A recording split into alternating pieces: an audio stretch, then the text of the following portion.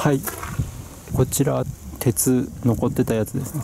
でこれを持ってこうと思います。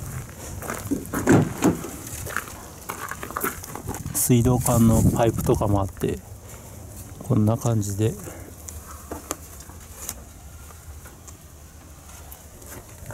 とりあえず持ってってもらえるかやってみたいと思います。はい。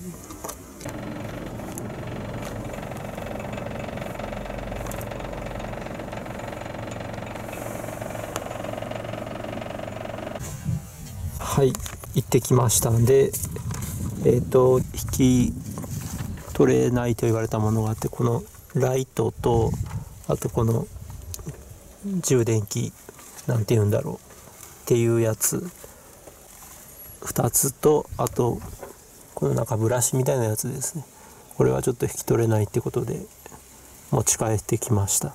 でそれ以外は全部引き取ってもらってでえっと合計金額が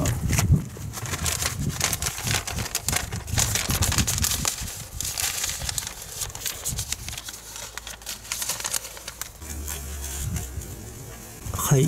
えっとものとしてはスチール扱いで10キロ15円。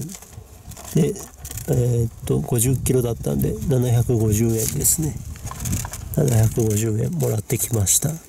はい。